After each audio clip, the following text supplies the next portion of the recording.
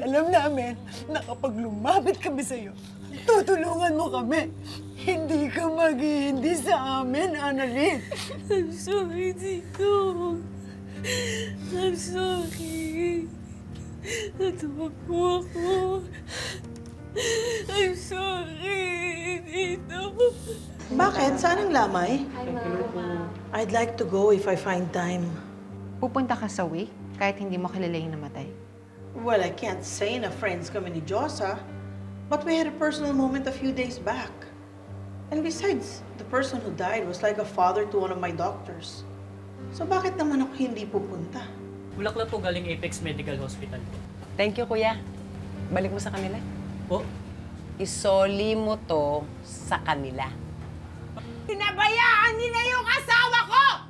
Hindi nila ginawa ang lahat para iligtas ang asawa ko. Kaya hindi ko kailangan ng kahit na anong pakikiramay galing sa kanila. Kapag nakamit na ni Cromwell ang hustisya, isa lang ang maaalala ni, ni Diyosa.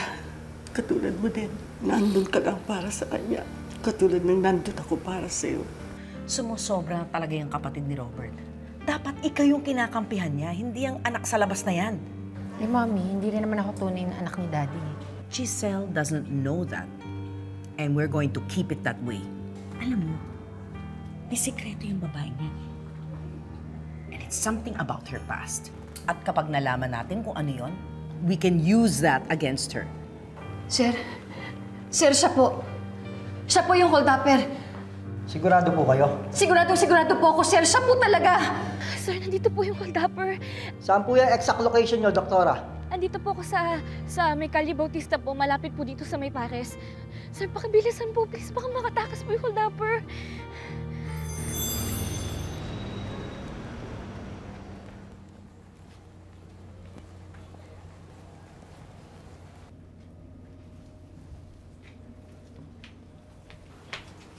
Nakikirami po kami, Aling Josa. Mga kaibigan po kami ni Mang Cromwell. Pa ngayon ko lang kayo nakita.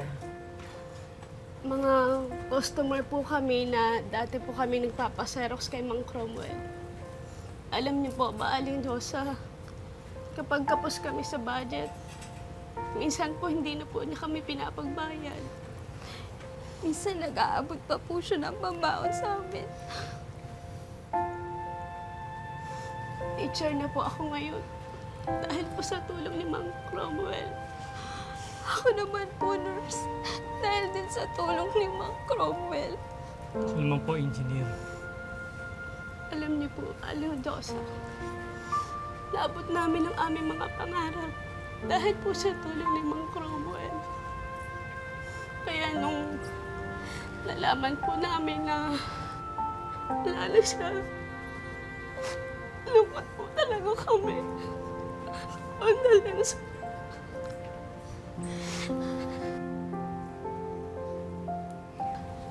May isang assistant na bata si Mang Cromwell, yung parang anak-anakan niya. Yung genius. Nasaan na kaya yun ngayon? Sigurado malaking naitulog ni Mang Cromwell sa kanya. Doktor na yun. At apo ko. Apo ko yung batang yun. Totoo. Malaki ang naitulong ni Cromwell sa kanya. Inaanak siya ni Josa. At hindi lang siya basta doktor. Neurosurgeon na rin siya. Dahil kay Cromwell.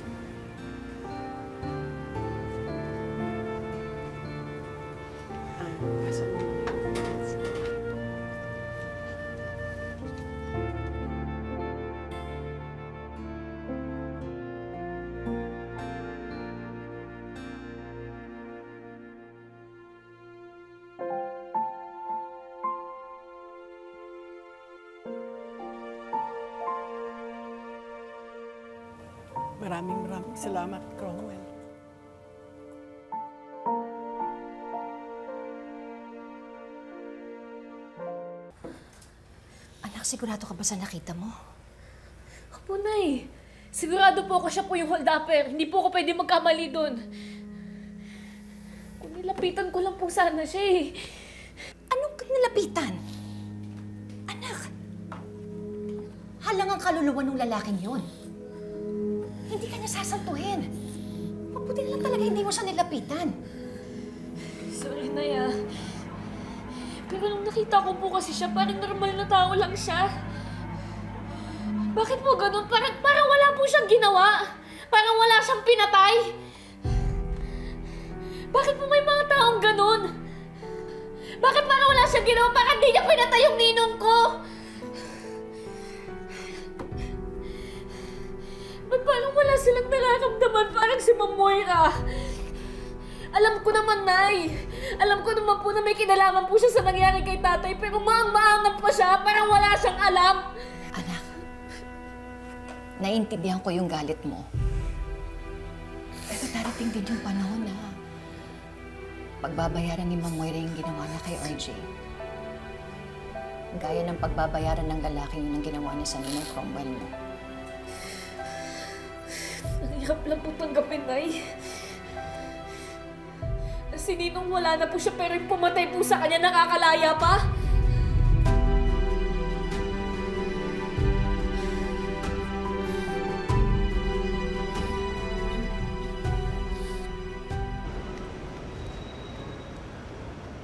Aling Diyosa, mauna na ako. Balik na lang ako mamaya.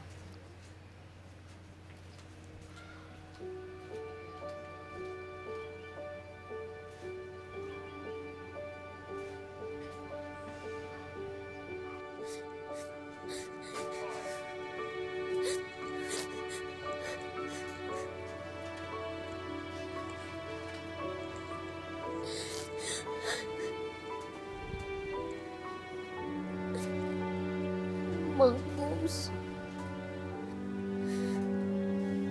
Ang pogi ko na. Nakaligo na po ako. Sabi niyo po, bibigyan niyo po ako ng 20. Pag naligo ako. Tolits, huwag kang mag-alala. Ako na magbibigay sa'yo ng 20 mula ngayon, ha? Ayoko po. Hindi ko po kailangan ng pera. Ito po yung ipon ko. Lahat po ng binigay sa akin ni Mang Combs. Sa inyo na lang po.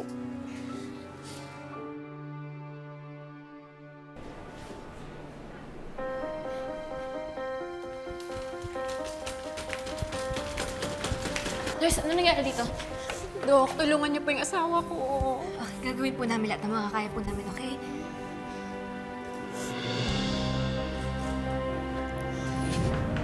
Sir, sir, siya po. Siya po yung hold-upper. Sigurado po kayo? Siguradong sigurado po ako, sir. Siya po talaga. Bihis pa ako. Pero ka mag-alala, pupunta na ako. Oo, oh, hanap na. Nandito na ako sa lugar. Gahanap na lang ako ng sakay. Tayo na lang ako ng ano.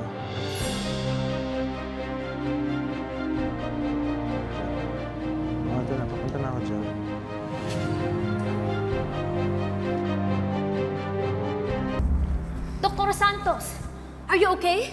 Doktora, tulungan niyo po yung asawa ko. Parang awa niyo na po. Possible gunshot wound to the spinal cord. Doktora Santos, are you up for this? Doktora Santos, are you up for this? Kasi last time, hindi mo kinaya. Kaya ko po. Okay, good. Stat CT scan.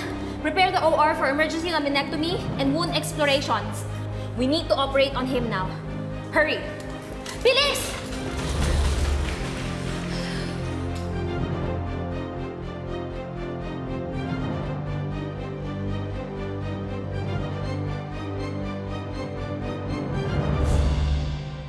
Inipon mo lahat tong 20. Itago mo yan. Bigay niya sa'yo yan eh. Hindi po. Abuli ko po ito sa kanya. Sabi niyo po, aampunin niyo po ako, Mang Combs. Joker ka talaga. Paano niyo po ako aampunin? Eh, wala na po kayo. Tolits, huwag ka na umiyak kasi Ayaw ni Mang Crumbs ng batang iyakin eh. Hindi naman po umiiyak eh. Naamoy ko lang po yung sarili ko. Amoy sibuyas pa rin po pala ako. Sabi po ni Mang Combs, kulang pa ako sa paligo. Ikaw talaga, Toy Bits. Hmm. Idol na idol mo talaga si Mang Crumbs, no? Yung mga hiritan nyo, pareho eh. Di po ba? May inaanak na doktor si Mang Combs?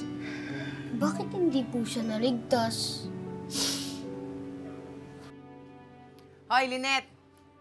Tinatanong ng bata kung bakit daw hindi nailigtas ng inaanak niyang doktor si Cromwell. Baka gusto mo sagutin. Bakit ka nga ba nandito? Di ba sabi ko sa'yo, huwag ka babalik dito hanggang di nahuhuli yung hold-upper na pumatay sa asawa ko? Josa, na naturo ko na sa mga pulis yung yung hold-upper. Tsaka at kagabi, nakita siya ni Annalyn kaya kaya malapit na siyang mahuli. Pero, hindi pa rin nahuhuli ang pumatay sa asawa ko kaya wala kang karapatang pumunta dito, Lynette. Josa, patawarin mo na ako. Alam ko na, alam ko na sasaktan ka. Pero sana pakinggan mo naman ako. Lynette naman! Ano ba, Lynette? Ano ba? Di ba nagluluksa ako, Lynette? Namatay yung asawa ko eh. Tapos ngayon gusto mo unahin ko na patawarin kita? Pwede ba, Lynette? Kahit ngayon lang, Lynette? Ako naman! Ang asawa ko naman! Tigilan mo yung para sa sarili mo! Tigilan mo yung drama mo! Josa, Josa, gusto lang naman kitang damayan. Oh, Lynette. Wala namang pumipigil sa yung damayan ako, di ba? Ayun naman, di ba? Nandiyan ka naman. Pero hindi kita kayang patawarin, kaya pwede ba, Lynette? Umalis ka na.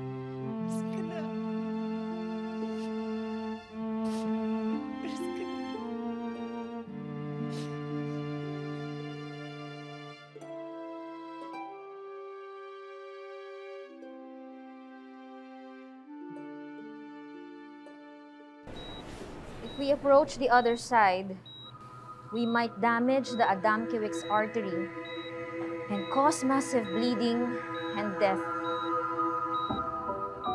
If we approach the other side, we will hit the anterior spinal artery and cause permanent paralysis. There is also ventral spinal cord herniation. We need to release it and place a graft. I'm worried about reherniation.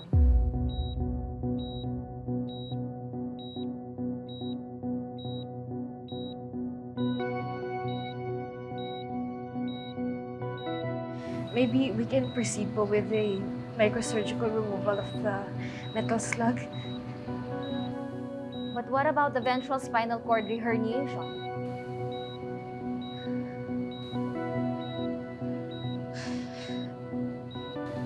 Can do a dentate hitch technique po, Doktora, and avoid both massive bleeding and paralysis po. Yes. Yes, that's right. We can release the dentate ligaments. Just make sure to avoid injury to the anterior spinal artery, Doctora. Micro scissors, please.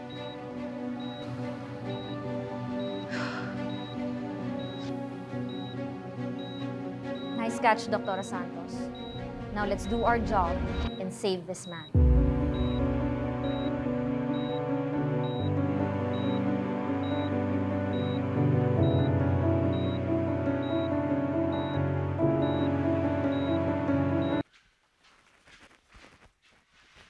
Dr. Santos. Good job. You saved a life today. We couldn't have done it without you.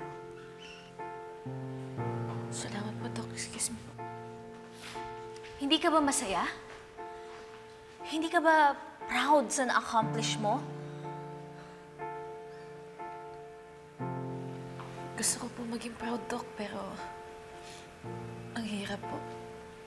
Bakit?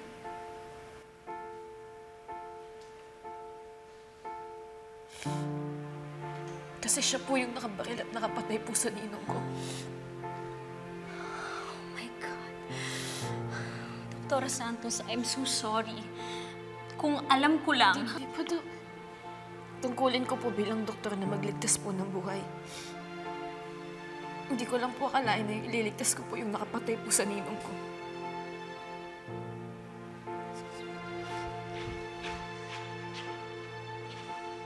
Nakikirami ako dyan sa pasensya. Kung may kailangan kayo, sabihin niyo lang po sa akin.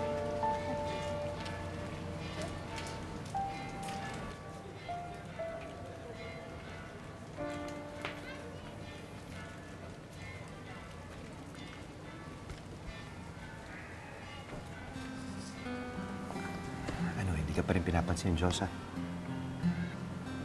Ay, hindi. Pinansin niya ako kanina. Pero galit pa rin siya sa'yo. Magkakaayos din kami. Pero hanggat di pa nangyayari yun, hindi ako titigil sa panunuyo sa kanya.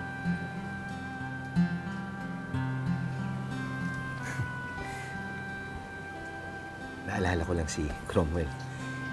Yun kasi yung parati niyang payo sa akin nung naliligaw pa ako sa'yo. Eh. Yung fight lang, magsusuko. Ah, higit sa lahat yung huwag bibitaw.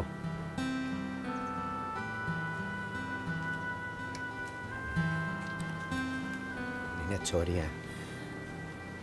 Kung bumitaw ako sa inyo. Michael, hindi ka bumitaw. Ako yung hindi nabigay sa'yo ng kakapitan. Importante, nandito ka ngayon. Tsaka, parte ka pa rin ng buhay namin ni Annalyn. Huwag kang mag-alala, Lynette. Magkakaayos din kayo. Sabi nga ni Cromwell eh, fight, Fight lang. lang.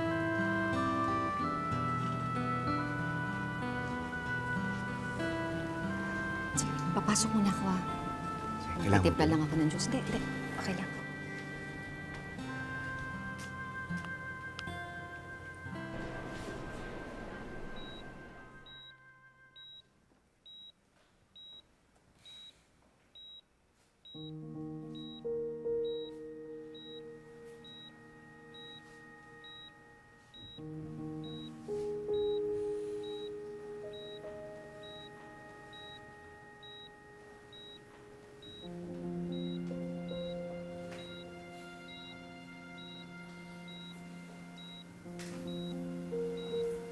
Totoo bang siyang nakabaril sa ninong Cromwell mo?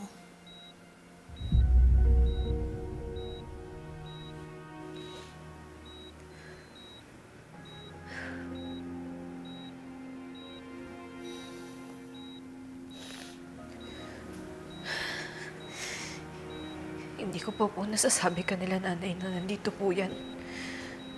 At lalong hindi ko po masabi sa ninang ko. Well, you don't have to kung nahihirapan ka. I'm sure the police will get in touch with them. Are you going to stay here hanggang dumating yung pamilya mo?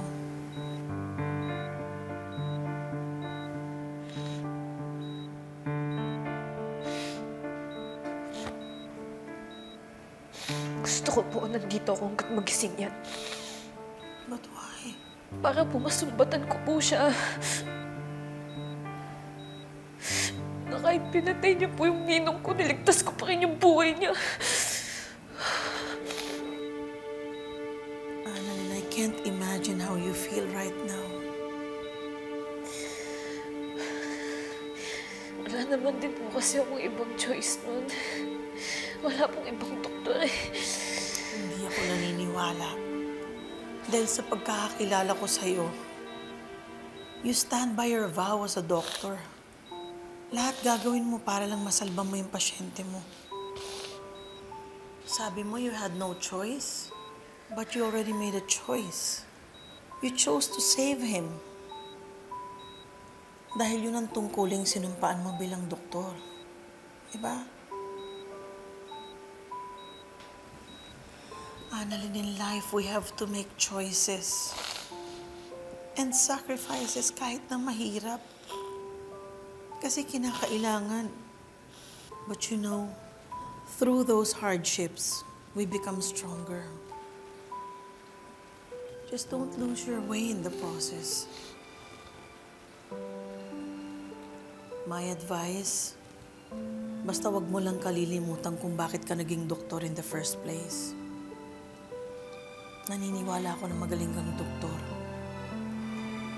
Hindi lang yun, mas mabuti ka pang tao. Salamat po, Ma'am Giselle. Ma'am ka ng ma'am. Am I not your tita?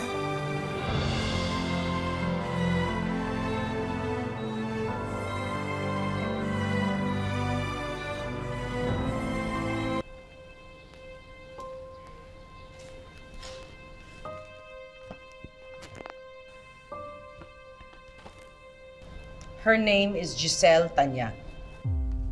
Tanyag. Kamag-anak mo, ma'am? Kapatid ng asawa ko. She grew up in Cebu. Ano bang gusto niyong malaman, ma'am? Anything and everything you can find out about her. In fact, mas madumi, mas maganda. It's time I show her who's the real boss around here. Siya na kasi ang bagong head ng Apex ngayon. Nabili kasi ng biyanan ko ang shares ko sa ospital. At kahit parte pa naman ako ng pamilya, initsyopuera nila ako dito sa ospital. Kahit pamilya namin ang may-ari nito dati. Eh, ginawawa naman pala kayo, ma'am eh. I know but I chose not to fight them. As long as sa anak kong si Zoe, mapupunta ang lahat dahil siya naman ang legitimate na tagapagmana ni Robert. Nagbago na kasi ang ihit ng hangin ni Giselle. eh. Mas pinapaboran na niya ang bastardang anak ni Robert. Masyado niyang inaagrabyado ang anak kong si Zoe under her leadership. It's time I turn the table in our favor. Sige na, umalis ka na.